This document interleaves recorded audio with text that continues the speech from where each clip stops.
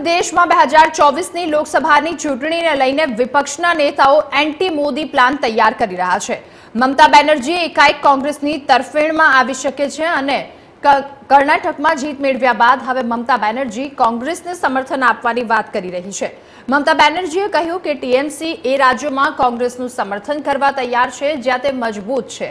આ સિવાય મમતા બેનર્જીએ કહ્યું કે કોંગ્રેસે બંગાળ જેવા રાજ્યોમાં ટીએમસીની મદદ કરવી પડશે. ટીએમસી પ્રમુખ મમતા બેનર્જી બે હજાર ચોવીસની સામાન્ય ચૂંટણીની તૈયારી કરી રહ્યા છે. ચૂંટણીના ફોર્મ્યુલા તૈયાર કરવા માટે તમામ વિપક્ષી દળો સાથે વાતચીત પણ કરી. રાજ્ય સચિવાલયમાં એક પ્રેસ કોન્ફરન્સ કરી અને તેને સંબોધિત કરતા તેમણે કહ્યું કે હું કોઈ જાદુગર નથી કે નથી કોઈ જ્યોતિષી.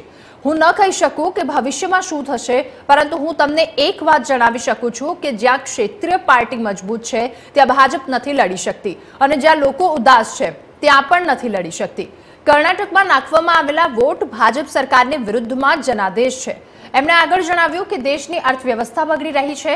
લોકતાંત્રિક અધિકારીઓની ઉપર બુલડોઝર ચાલ્યું છે. એટલું જ નહીં, પહેલવાનોનું પણ સાંભળવામાં નથી આવી રહ્યું. અને આવી સ્થિતિમાં ક્ષેત્રમાં જે પણ મજબૂત હોય તેમને સાથે મળીને લડવું જોઈએ. માની લ્યો કે બંગાળમાં મજબૂત છીએ. બંગાળમાં અમે લડીશું. દિલ્હીમાં કોંગ્રેસે લડવું જોઈએ. બિહારમાં નીતિશ અને તેજસ્વી સાથે છે. કોંગ્રેસ પણ છે. આવી જ રીતે બીજા રાજ્યોમાં પણ સાથે મળી કામ કરવું પડશે.